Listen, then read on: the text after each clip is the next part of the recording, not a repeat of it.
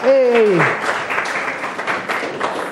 So this talk's going to be a fuck of a lot shorter. Uh, the, uh, um, so, so the people mistakenly thought that this talk was about virtual env. It is not about virtual env itself. I actually somewhat assume that you probably know what virtual env is. Brief explanation, it's basically a little environment in which you end up having uh, things. The, the thing that I want to talk about is if you are writing a web application or any application where you want people to get up and get started, how do, can you make it not a nightmare for them to get up and get started? And I think the way that people tend to do things actually encourages the nightmarish aspect. If you're going to like JRandom project, right? You might, you probably, the instructions are probably something like this. All right, you'd be like, okay, git clone my thing, git clone, and it'll, we'll just pretend that it's M- mkdir foobar, right? And then you're like, change to foobar, and then you're like, then do the, and if it was in C, it would just be this, configure and and make. And as long as everything works and you pray to the right gods, it'll be done, right? It's not going to work here because it's not a C project. It's not even a project. But that's basically the thing. It's enough to get somebody up and running as long as all, they have all the prerequisites installed and everything to just get going, right? But what happens if you're writing like a Python application and you're like, hey, I love contributors. In Media Goblin, we love contributors. You're like, you're like, I want you to get up and running, and let's get up and running. I've got this application. Let's install it. Let's go. We'll have a great time, right?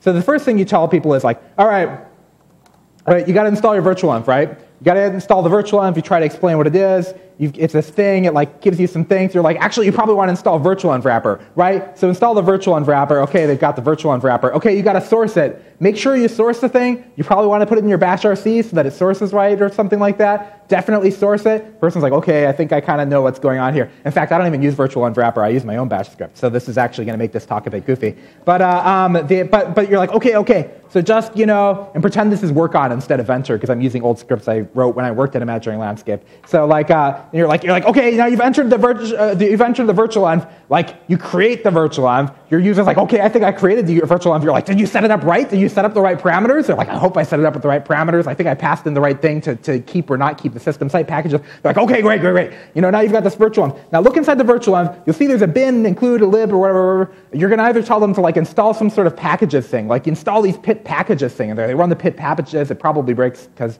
that's my experience with But uh, um, the, um, it, you know, the, um, or, or, what you might tell somebody is like, okay, the virtual env is basically this little environment. It's a little pond. It's a little Zen garden in which you get in there and you put some stuff and then you'll work on it. So like, we'll go in here, we'll go into this, and then we're going to like do the git clone here. So you do the git clone at this step. And for now, we'll just pretend that uh, we'll just clone off of my vel Media Goblin instance or something like that. Or actually, high. That's going to be way a lot faster. So anyway, cl- clones off of high, and it's like, okay, done. Like you're like, okay, the next thing you got to do is like make sure it's actually in there. Do something like, and either if they install it through pip, maybe it's already there, or you're like Python set setup.py develop, like that'll set everything right up, you know, and maybe it works and maybe it doesn't.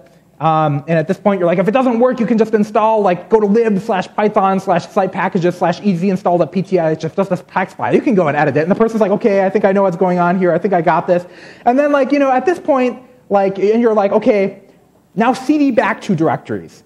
Because the commands you're running, first of all, you have to make sure you source the bash script. And the commands you're running are actually not in this directory. They're actually back to directories in the bin directory. Look in the bin directory, that's where your commands are, and they're like, okay, I think I know what's going on here. At this point, you've totally fucking confused the person. What the fuck is going on? With C, it was so easy, it was just configure and make, and the world was done, everything was done, everything was great. We have a way easier way in Media Goblin. It's so fucking simple. Put the virtual env inside the package. Inside the package. It's so great. Here's what you do You've got, like, let's look at the Media Goblin config thing. It's just like, so we have them install the packages. If you're running on Debian or something not terrible like OS X, it's probably one line. Um, uh, but if you're, and if you're doing the other thing, OS X is fucking terrible, I'm sorry. If you're doing anything else, you know, you've got virtualenv right here. You've got basically two commands. You sit cd to the directory, you copy and paste this command. We actually used to have this and and, and somebody changed the wiki, but it was one command you could just run all at once. You just run this, which sets up the virtual env in the package. See? Devel media goblin, virtual env, this command, And this command, the reason why it has the or in it is so that because we need system site packages, it depends on what your thing is, but we could just pretend that it was virtual env. That's it, right? Parents? What? Are those parents? No, yes, they are birds. So all you need to do is basically tell them to do virtual env dot, right? And then it installs the thing, right? You're totally done, right? The next step, and this is it. Though I'm actually going to do it like this because I want system head packages. The next step that we have is just one more step: bin slash python setup.py develop, and that's it. Inside the package, you have them install the virtual env inside the package. And what's great about this is they don't have this garden where they go off to the SRC directory, they move over there, they check the thing out, they put it in there, they move it over to the easy install step pth or something like that. It's just all in the fucking directory. It's in the directory. It's like a one command that you paste.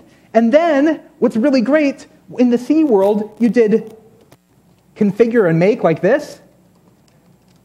And then after you ran that, you had like run game, right? You just hit that, and you've already got your program. Same thing here.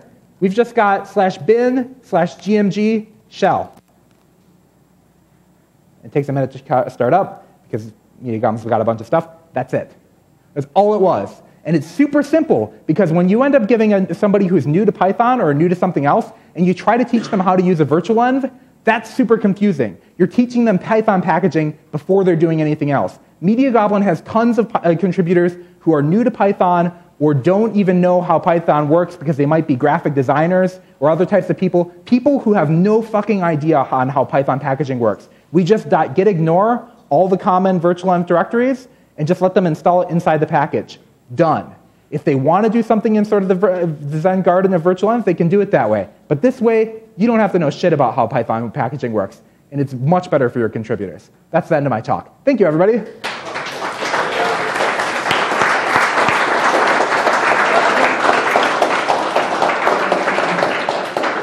Questions?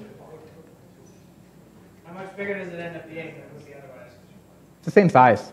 It's just the same thing. It just puts a direct, it just puts the little directories inside of the same thing, and you just dot git ignore them, and then you just say if you're a developer and using this, then it's just not. Yeah, that's it.